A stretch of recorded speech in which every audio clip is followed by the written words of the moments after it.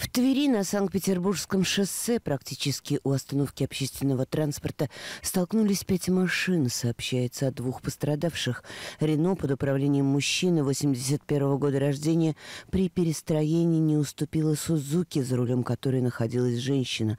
От удара Рено столкнулся еще с тремя автомашинами. В этой аварийной цепочке оказались два Ниссана и Ситроен.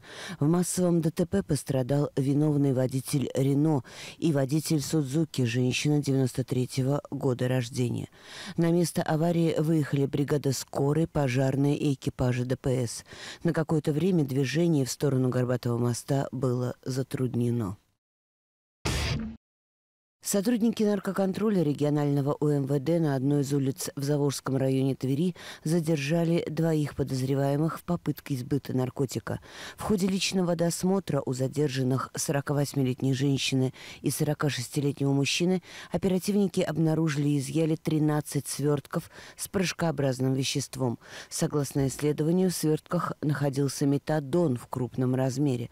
Фигуранты планировали распространять его на территории города без контроля контактным способом. По месту жительства одного из подозреваемых полицейские обнаружили еще шесть похожих свертков.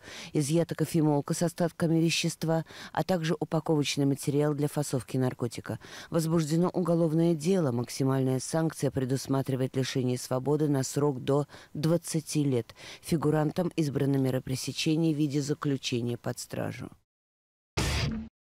Сотрудники наркоконтроля отдела полиции Кашинский в доме 49-летнего жителя Калязина обнаружили пакет с марихуаной в значительном размере. По словам подозреваемого, наркотик он хранил для личного потребления. Однако эта версия вызвала сомнения у полицейских. Оперативники проводят проверку.